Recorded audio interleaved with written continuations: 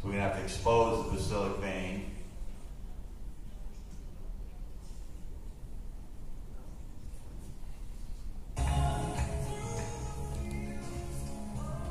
I didn't think it would bleed because I felt thrombus in there, but I made a surgical mistake. I didn't control the distal. So so now I control. Around the the catheter, a lot of thrombus around it. You can, see, you can see why it broke. That stuff just glued it to the vein wall.